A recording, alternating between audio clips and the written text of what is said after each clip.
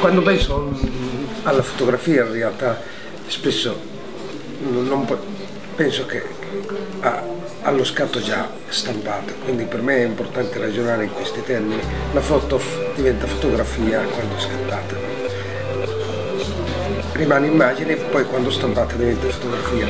Eh, io a Savignano sono venuto in realtà di solito non amo fare molti festival perché lo trovo un concetto molto ghettizzante, perché per me la fotografia è qualcosa di molto più alto rispetto a metterla in un ghetto.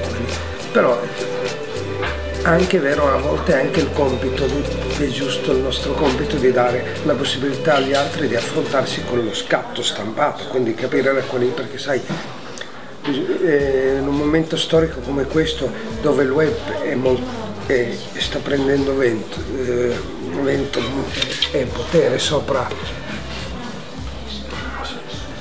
soprattutto in, per pigrizia, no? perché eh, il fatto di andare in una mostra incide in partecipazione, quindi eh, mi sembrava un dovere andare a fare una mostra quasi fisica. Quindi.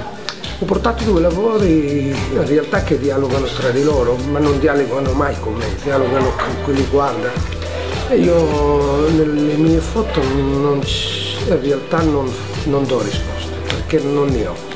Sono, i miei scatti sono tante domande, tante domande all'angoscia di un momento storico, no?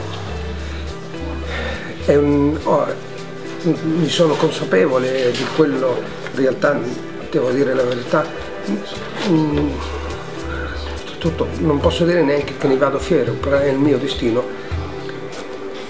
di fare un tipo di fotografia che chiede all'altro di prendere posizione, o sì o no. Non è una fotografia di compiacimento, eh, c'è troppe cose che cercano il compiacimento in un momento storico tipo questo.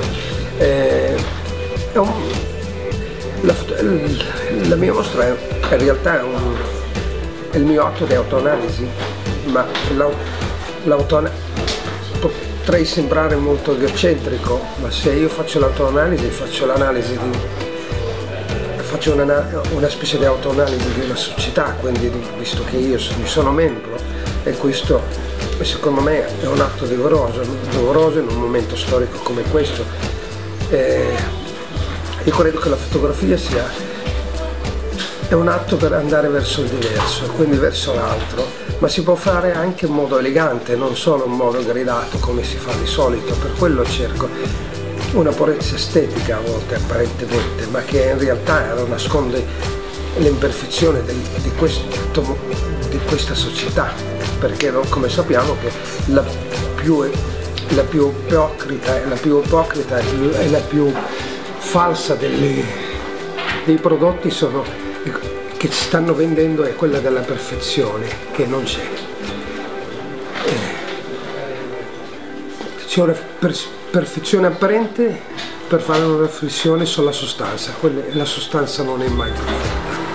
È, è, che, è la cosa più erotica è amare proprio l'imperfezione, sia la nostra imperfezione sia quella altrui. Non, io davvero non, molti cercano di dare delle risposte. Io, io faccio solo domande.